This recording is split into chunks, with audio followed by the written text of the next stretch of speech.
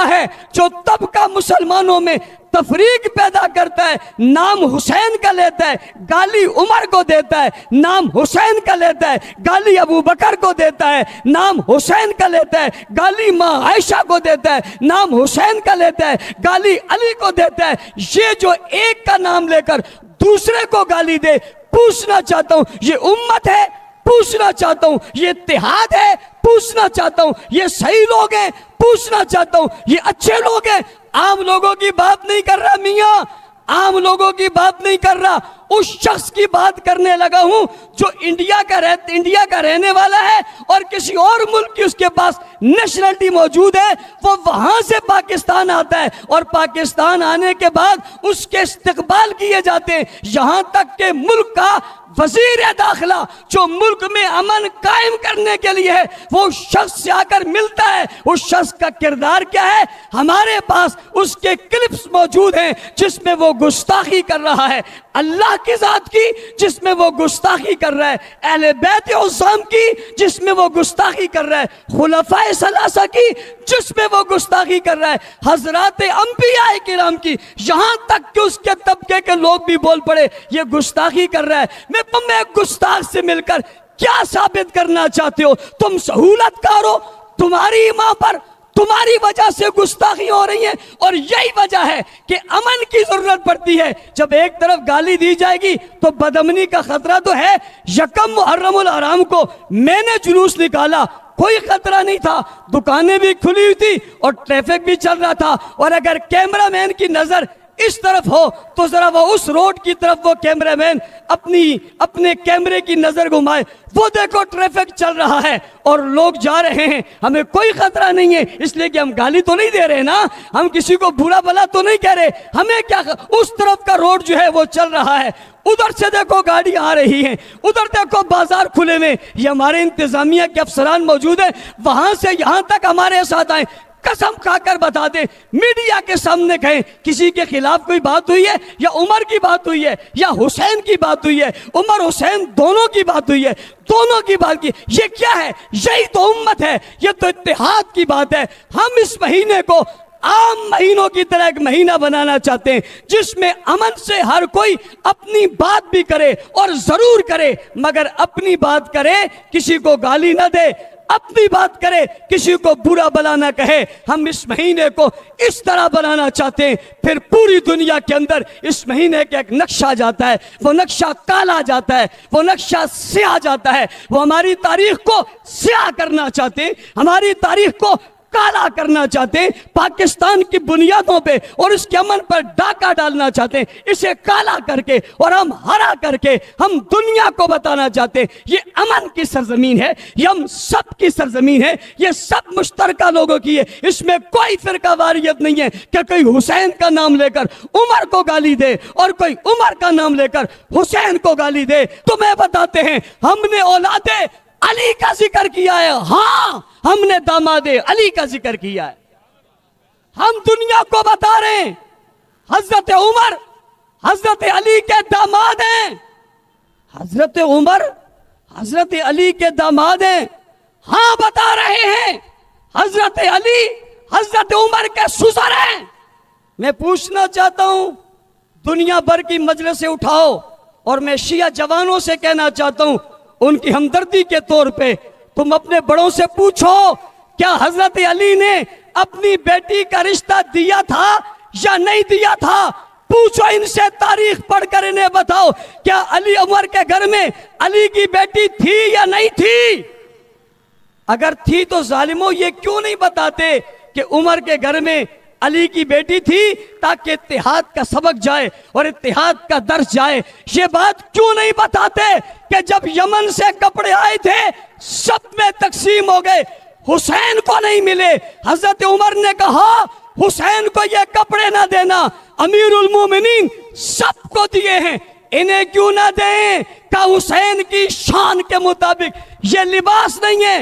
वाली यमन को लिखा, अच्छी पोशाक अच्छा लिबास पहन भेजो, जो आम लोगों का ना हो, शहजादों का हो। क्या करोगे? का मैं नबी के नवासे, अली के बेटे, फातिमा के खून हुसैन को दूँगा। और जब जोड़ा आया और हुसैन को मिल गया तो हज़रत उमर कहते अलान ताबत नफसी, मेरा दिल तो अब खुश हुआ जब हुसैन ने शहजादों वाला जोड़ा पहना है। मत देना, तुम मेले बैत के दुश्मनों वो वजीफा लें तुम दुश्मन बताओ, ये इतिहाद की बात है, या इंतशार की बात है? मैं तो इतिहाद बता रहा हूँ कि उन्होंने वजीफा दिया, इन्होंने लिया, सुनो। उन्होंने जब यमन से खूबसूरत जोड़ा मंगवाया तो हुसैन इनकार कर देते ना? और यूँ कहते कि मुझे तो यमन का जोड़ा दे रहे हो। मेरी माँ को तो फदक नहीं दिया था। मुझे यमन का जोड़ा दे रहे हो। मेरे बाबा को तो खिलाफत नहीं दी थी। मुझे यमन का जोड़ा दे रहे हो। इन्हें तो यूँ नहीं दिया था। ये तो नहीं कहा। जोड़ा लेकर बताया फतक वाली बात भी झूठ है और खिलाफत वाली बात भी झूठ है। सच वही है जो उमर बता रहा है, हुसैन कहलवा रहा है। उमर शुरू कीजिए।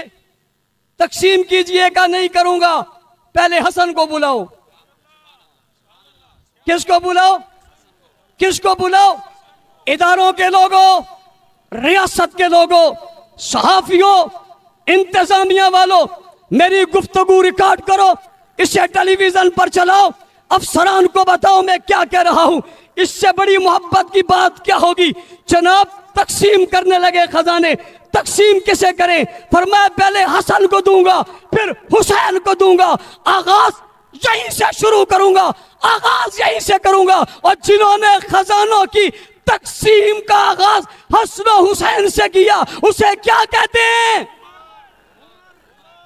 क्या कहते हैं? ना ना ना जज्बे से क्या कहते हैं?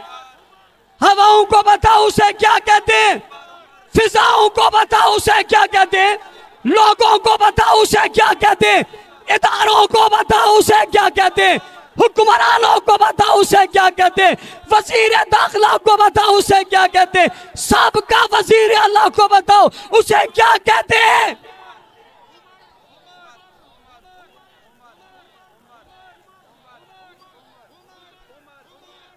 उमर उमर उमर उमर। जिसने वजीफा दिया उसे उमर कहते हैं, जिसने जोड़ा दिया, उसे उमर कहते हैं, जिसने खजाने तकसीम किए, उसे उमर कहते हैं, जिन्होंने लिया, उसे हुसैन कहते हैं। क्या कहते हैं? हुसैन हुसैन, क्यों नहीं बताता ये रिश्ता? तुम क्यों नहीं पूछते उससे? इंडिया आए हुए, इंडिया से आए हुए जाकिर बदमाशी करके मुल्क में, तू गलत ख्याल पैदा कर रहा है, तू तो चला जाएगा बदमनी हमारे लिए छोड़ के जाएगा। मैं शिया के जाकरों से कहता हूँ शिया की क्यादत से कहता हूँ, तुम्हारे मुँह में जबान नहीं है,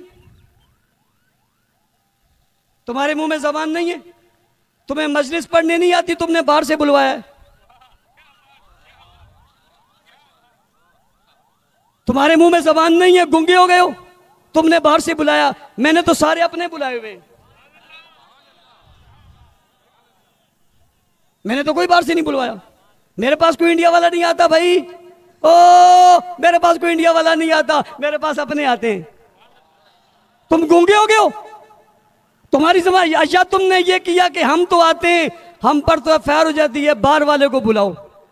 या तो तुम्हारे बस से बाहर है, या तुमने शरारत के लिए बुलाया है, और मैं वज़ीर दाखिला साहब आपसे कहता हूँ, होश के नाखुन लो, मुल्क के वज़ीर दाखिला हो।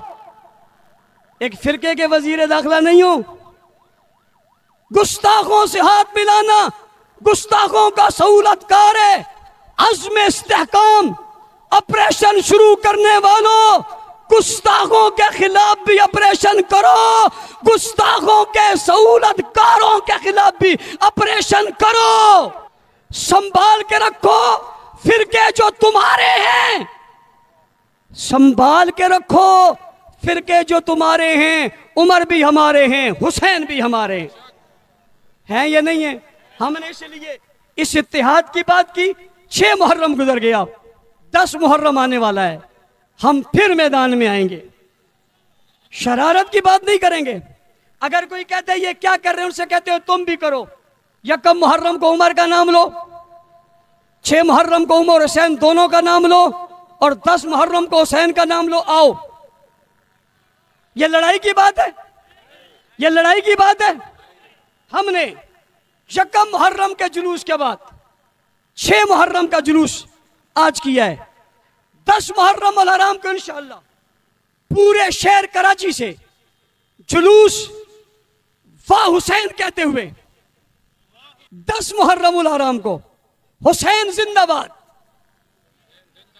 बोलो, करबला में हुसैन जिंदाबाद। मैदान में हुसैन जिंदाबाद मक्का में हुसैन जिंदाबाद मदीना में हुसैन जिंदाबाद बोलता हुसैन जिंदाबाद आता हुसैन जिंदाबाद हाफिज हुसैन जिंदाबाद कारी हुसैन जिंदाबाद आलिम हुसैन जिंदाबाद बुरदबार हुसैन जिंदाबाद मोहम्मद हुसैन जिंदाबाद असीम हुसैन जिंदाबाद बरतर हुसैन जिंदाबाद पाला हुसैन जिंदाबाद मदीने का नमाजी हुसैन जिंदाबाद मस्जिद नबी में आने वाला हुसैन जिंदाबाद अबू बकर का पीछा खड़ा हुसैन जिंदाबाद। उमर के साथ खड़ा हुसैन, जिंदाबाद। उस्मान के दरवाजे पे पहरे देता हुसैन, जिंदाबाद।